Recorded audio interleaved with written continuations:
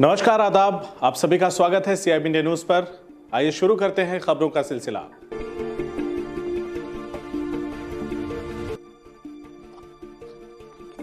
कानपुर में हुए आठ पुलिस कर्मियों के हत्याकांड का आरोपी विकास दुबे की धरपकड़ के लिए बॉर्डर पर बड़ी कड़ी चौकसी। एक लाख रुपए के इनामी हिस्ट्री शीटर अपराधी विकास दुबे के नेपाल भागने की आशंका पर भारत नेपाल बॉर्डर रुपईडीहा पर एसएसबी की टीम कर रही है 24 घंटे कड़ी निगरानी।